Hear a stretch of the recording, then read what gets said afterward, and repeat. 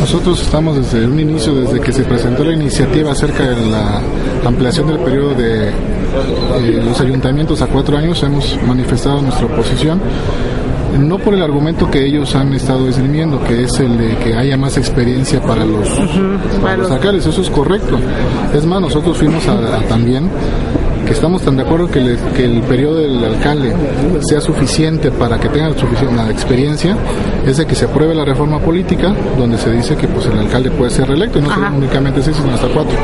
Lo que estamos en contra es en el que se haga un desfase en las elecciones que nos costó 14 años en lograrlo, para que lo vayan a dividir. Entonces el alcalde, separado de gobernador y de diputado, hace que cada año tengamos elecciones entre federales para elegir presidente de república, senadores, diputados, y ahora dividir la elección, eso hace costosísima, costosísima dice, las elecciones. Dice el Partido Acción Nacional que esto elevaría, de aprobarse la reforma, elevaría cuatro, tendríamos elecciones cada año y elevaría los costos, lo cual sería incongruente hablando de un gobierno de, la autoridad. Pero ¿cómo va a aumentar los costos el que haya menos elecciones? Por Dios, municipalmente habrá menos elecciones si cada cuatro años se hacen, esa es aritmética elemental, ¿no?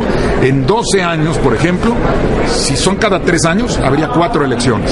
Si son cada cuatro, habrá solo tres. Y tres elecciones son más baratas que cuatro. Pues me parece que es eh, totalmente absurdo.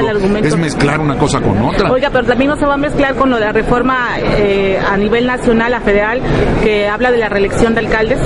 Es que es diferente, porque en todo caso, el Congreso de la Unión podría, y si lo aprobamos las legislaturas estatales, podría eliminar la prohibición de la reelección.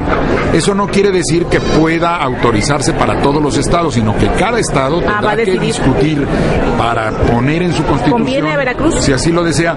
Yo creo que es una discusión que habría que dar si cambia la constitución federal. Si no cambia, no, no tiene caso. Ahora, nosotros lo que sí conviene es que si tenemos ya un periodo de cuatro años y está funcionando bien, que es lo más probable, una de dos, o no hay necesidad, o eventualmente sería un momento de entrarle a esa discusión. Acuérdese que...